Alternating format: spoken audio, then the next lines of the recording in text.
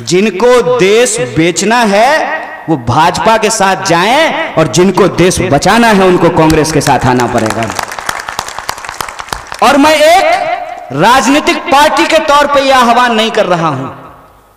आज़ादी का आंदोलन जिस पार्टी ने लीड किया है, आज़ादी के आंदोलन की जो विरासत है, उस विरासत के आधार पे जो संविधान की रचना हुई है और उस मंत्रिमंडल की खासियत देखिए। पंडित जवाहरलाल नेहरू देश के पहले प्रधानमंत्री हैं। वो इतने सहिष्णु थे कि उसी मंत्रिमंडल में डॉक्टर बाबा साहब भीमराव अंबेडकर भी थे और श्यामा प्रसाद मुखर्जी भी थे।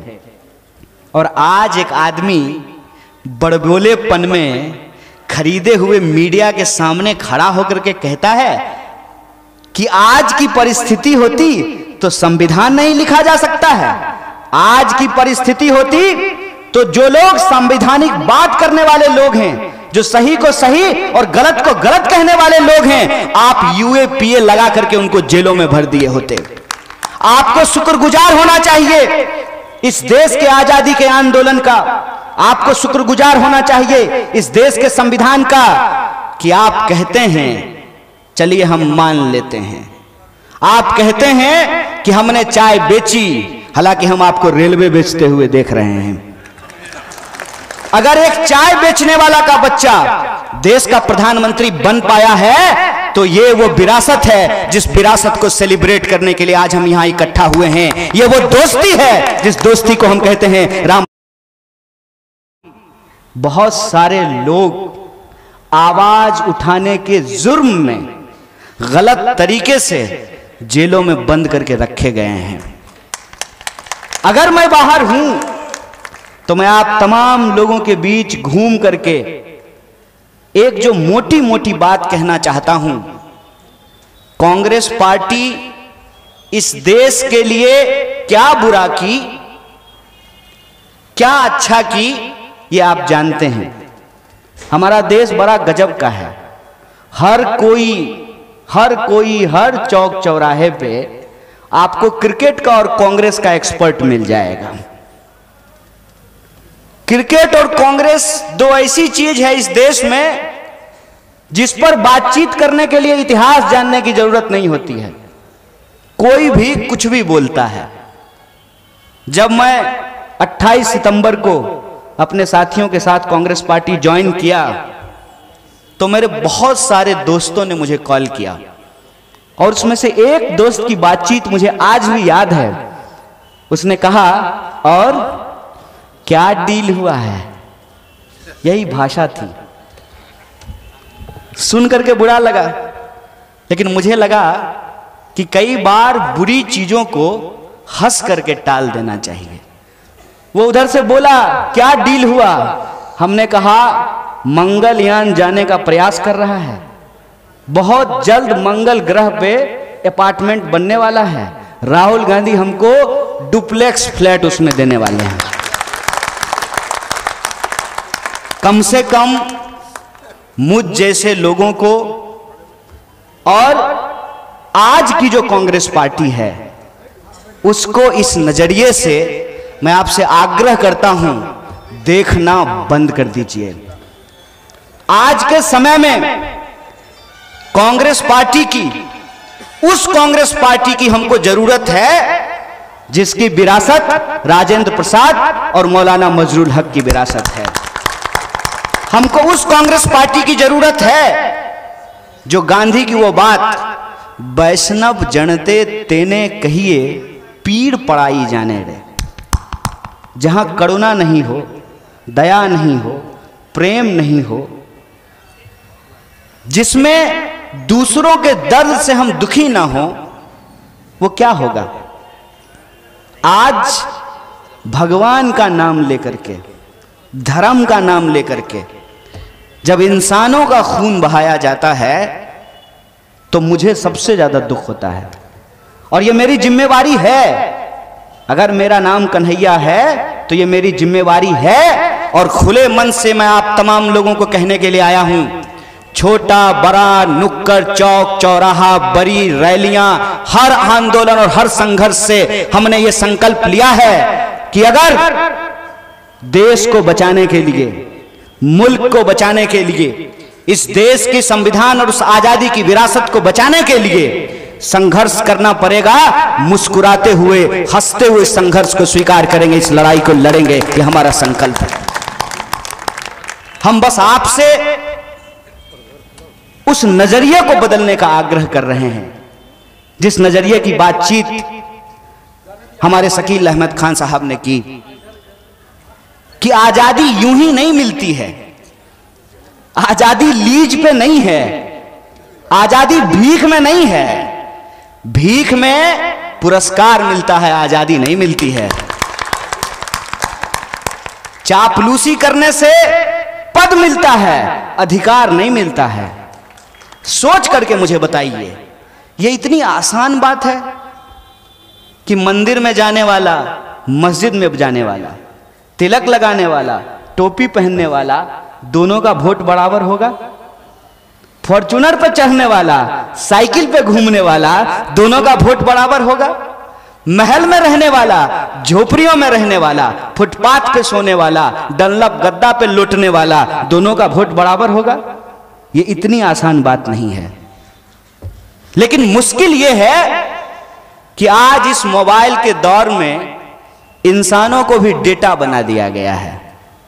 लोग फेसबुक पोस्ट करते हैं और ये गिनते हैं कि कितना लाइक हुआ है।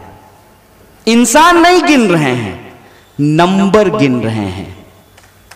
हम नंबर नहीं हैं, हम इंसान हैं। और ये जो आज हमको नंबर बनाने की कोशिश की जा रही है, पचासी परसेंट, पंद्रह परसेंट, ये नंबर है। और उस नंबर बनाने का जो साजिश है, उसका जो खतरा है, उसको हमको समझना चाहिए कि कोरोना में जब लोग मर रहे थे तो सरकार नंबर गिन रही थी।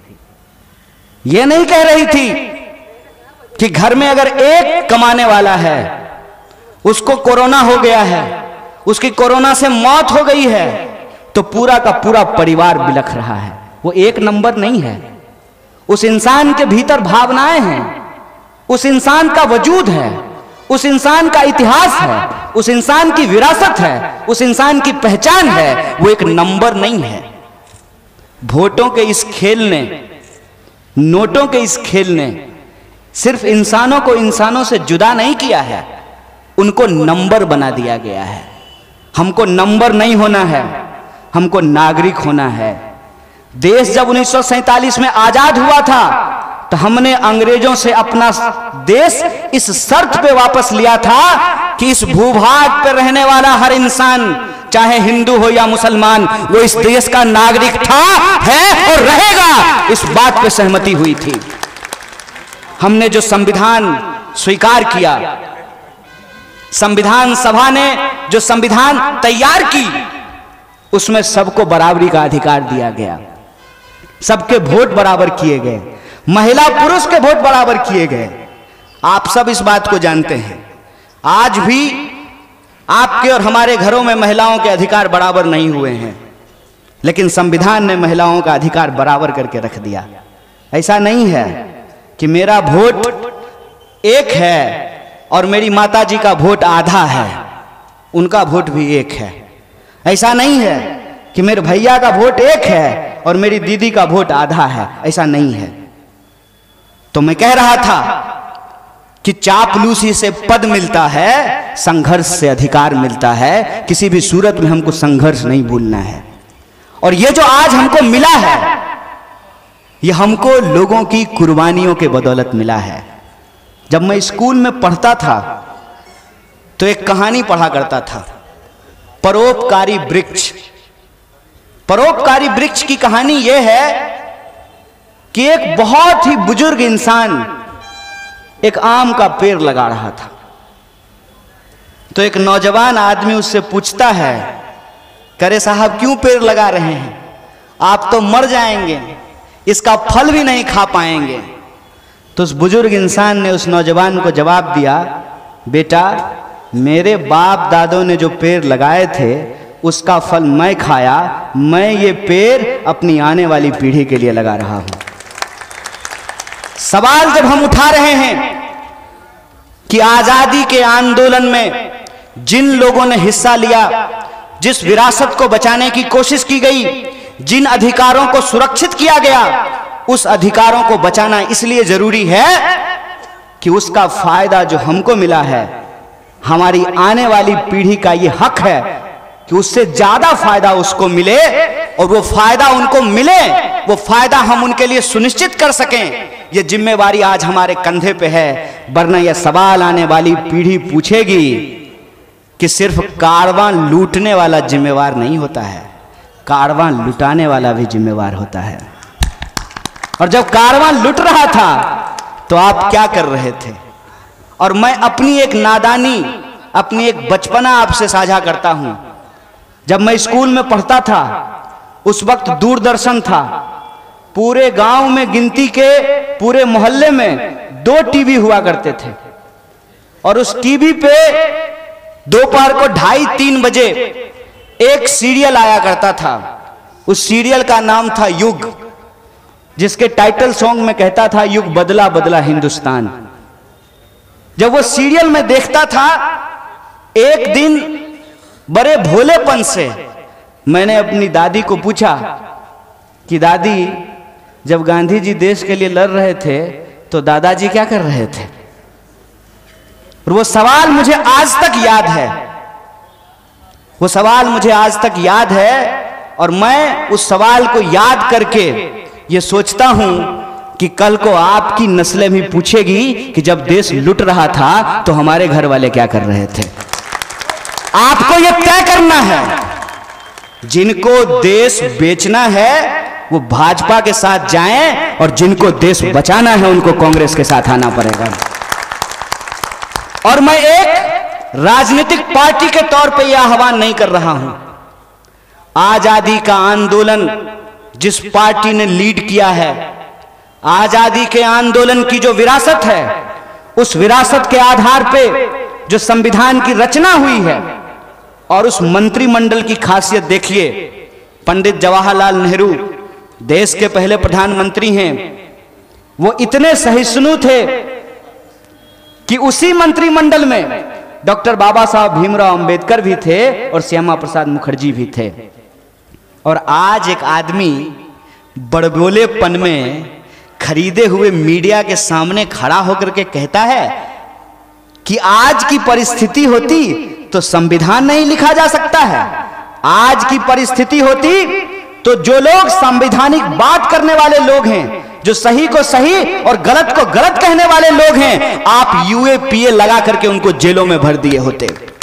आपको शुक्रगुजार होना चाहिए इस देश के आज़ादी के आंदोलन का आपको शुक्रगुजार होना चाहिए, इस देश के संविधान का, कि आप कहते हैं, चलिए हम मान लेते हैं। आप कहते हैं कि हमने चाय बेची, हालाँकि हम आपको रेलवे बेचते हुए देख रहे हैं।